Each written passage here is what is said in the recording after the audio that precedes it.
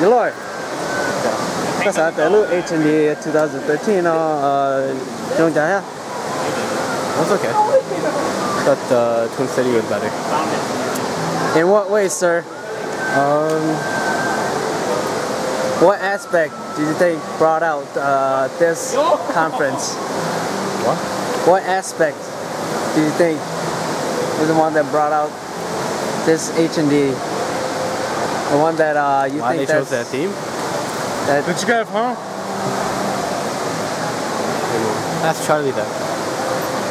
I got. What are the aspects you thought? It's okay, yep. Tom. I'm. Yeah, that, that was most influential to you. What kind of missing? I don't know. What kind of interview is this? Bye bye. Dude.